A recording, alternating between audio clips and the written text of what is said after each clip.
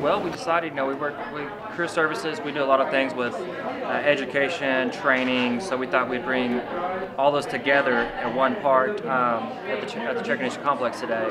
And we want to give this young adults uh, an opportunity to come and learn about summer youth programs, uh, higher education, uh, Cherokee Nation Foundation, vocational training opportunities. So we thought we'd bring all those entities in to come in to kind of learn about and display what they have to offer for young adults, uh, anywhere from age 16 to 24. Basically, we have our first uh, initial table. It's going to be a sign-in registration.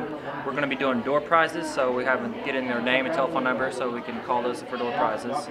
Uh, they then can walk freely throughout the halls. We have Talking Leaf Job Corps. We have Workforce Tahlequah. We have uh, Cherokee Nation Foundation. We have the High, Cherokee Nation Higher Education.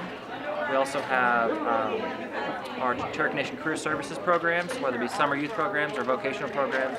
Also, Dislocated Workers Grant, um, Sector Partners program there. So, we do a lot of job fairs. We do a lot of uh, hiring events. We coordinate with a lot of businesses that need help recruitment-wise. We also do uh, the summer youth program, summer youth employment program, internship program, which we're also uh, handing out flyers for that today. So that's why we're trying to get information out about those programs. So.